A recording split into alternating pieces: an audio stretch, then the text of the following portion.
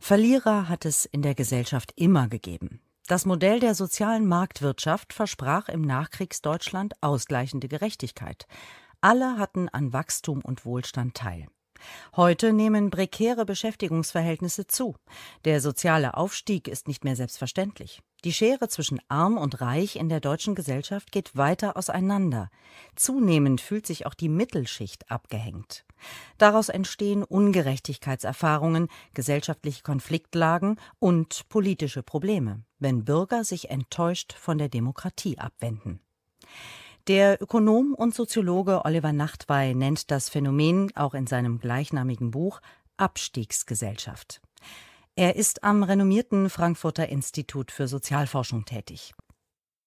Wir haben so etwas wie eine prekäre Vollerwerbsgesellschaft, so hat das der Jena Soziologe Klaus Dörre genannt. Das finde ich einen sehr treffenden Begriff, weil er sagt, zwar kommen immer mehr Menschen in Arbeit, aber die Arbeitsverhältnisse, die sie vorfinden, sind viel häufiger prekär. Etwa ein Drittel aller Jobs in Deutschland sind sogenannte atypische Arbeitsverhältnisse.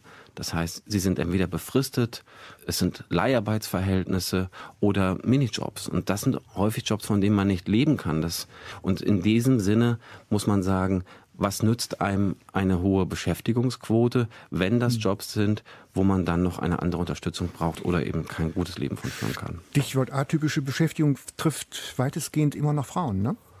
In der Regel Frauen, verstärkt auch Männer, aber gerade Alleinerziehende oder jüngere Frauen, die sind darauf angewiesen, ihr Einkommen eben durch Minijobs, Teilzeitarbeit aufzustocken. Oliver Nachtwey, was verstehen Sie unter regressiver Moderne und warum leben wir in einer Abstiegsgesellschaft? Wir hatten das äh, gerade schon etwas skizziert, diese Zeit der sozialen Moderne, das Produktivitätswachstum in dieser Zeit war enorm, aber wenn man sich die Durchschnittseinkommen oder die Entwicklung der Durchschnittseinkommen in Deutschland anschaut, dann kann man sagen, bis in die 70er Jahre haben sich die Arbeitnehmereinkommen etwa analog zur Entwicklung der Produktivität, also zum wachsenden Wohlstand entwickelt.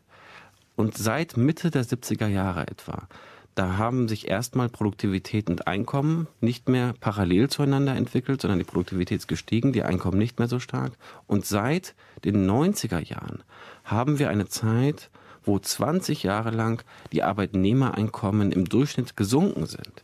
Und das ist ein tatsächlich bisher nicht gekannter sozialer Abstieg für die Arbeitnehmer als solche. Und sie haben auch ihren Anteil am Wohlstand verloren. Das ist ein Element. Das andere Element, ich habe es angesprochen, das ist die steigende soziale Unsicherheit. Ein Drittel aller Jobs sind prekäre oder atypische Beschäftigungsverhältnisse. Und damit einhergehend der Aufstieg, den wir vorher kannten, der ist nicht unbedingt mehr ein Aufstieg in dem Sinne, dass wir, wenn ich mich beruflich weiter qualifiziere, dass damit automatisch auch die bessere soziale Lage einhergeht.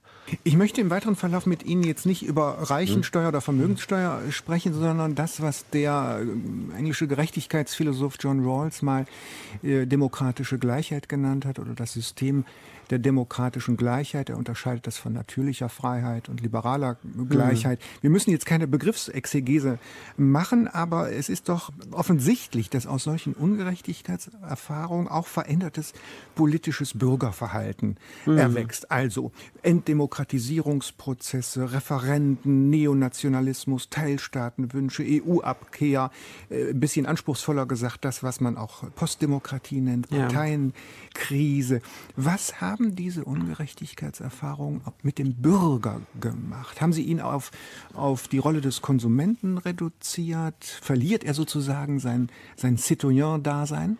Ja, da gibt es mehrere Dimensionen. Also das, was ich jetzt regressive Modernisierung bezeichne, soll diese Ambivalenz, die Widersprüchlichkeit herausstreichen, die wir heute haben. Einerseits sind unsere Gesellschaften gleicher geworden in der Hinsicht von Gleichheit der Geschlechter. Wir haben aber auch mehr politische Partizipationsrechte. Es gibt viel mehr Bürgerinitiativen, es gibt viel mehr Volksabstimmungen.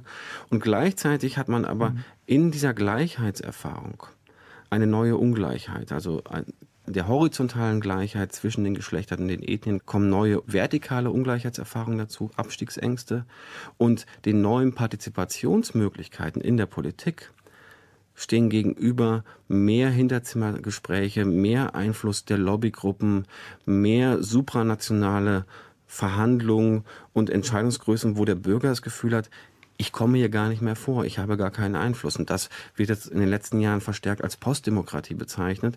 Und das führt eben dazu, dass man sich viel stärker auf sich selbst zurückzieht, sich selbst mehr als, als Kunde mit Rechten betrachtet, nicht mehr als der am politischen Prozess aufgeklärt, sich selbst dort einbringende Teilhabebürger, sondern eben als jemand, der konsumiert und wenn es ihm nicht passt, dann aber auch gleich mit sehr, sehr starken aggressiven Affekten reagieren kann.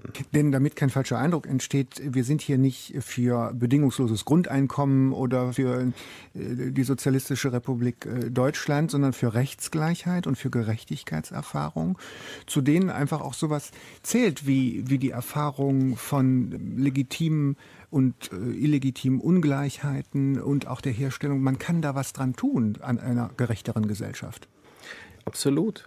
Und wir haben jetzt eine Situation, wo wir, wenn wir in die Zukunft schauen, sehr, sehr große Probleme bekommen werden, denn mit einem... Soziale Spannung. Soziale Spannung und aber auch, wir werden eine große Altersarmut bekommen. Durch die veränderte Lohnstruktur, durch die Veränderung im Rentensystem. Also die Probleme in der Zukunft werden nochmal deutlich größer werden, als wir es hier und jetzt haben. Und das äh, sickert so langsam auch in der Politik ein. Mhm. Hinterlassen Sie mich bitte aus unserem Gespräch nicht so traurig.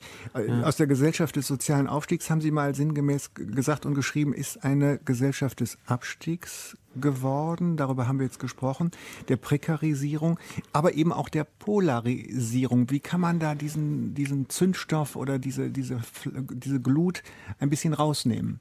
Durch eine andere Sozialpolitik, eine gerechtere?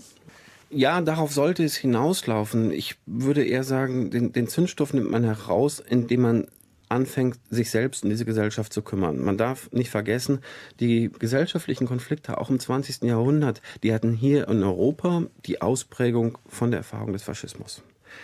In den USA war das die Zeit des New mhm. Deals. Dort haben die Gewerkschaften einen unglaublichen Aufschwung erfahren.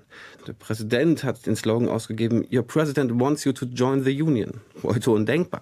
Aber diese Zeiten, wo dann auf einmal andere Akteure auftreten und sich das gesamte politische Pendel wieder in eine andere progressive Richtung wenden kann, das ist auch heute möglich. Und das sieht man bei so etwas wie der Occupy-Bewegung, die ist im Grunde global geschafft hat, das politische Feld nochmal anders aufzustellen, dass sich jetzt viel stärker über Ungleichheit geredet wird. Dass, dass wir heute dieses Gespräch führen, hat auch viel mit Occupy zu tun, weil diese Bewegung eben Ungleichheit viel stärker in das politische Bewusstsein wieder hineingerückt hat. Und jetzt gab es einen Präsidentschaftskandidaten, Bernie Sanders, der ein direktes Produkt davon war. Und in Großbritannien, wir haben vorhin darüber geredet, dass die Parteien Mitglieder verlieren.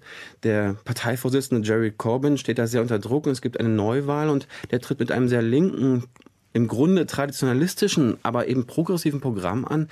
Und das sind Hunderttausende ich glaube, 140.000 Menschen innerhalb von einer Woche in die Labour Party eingetreten.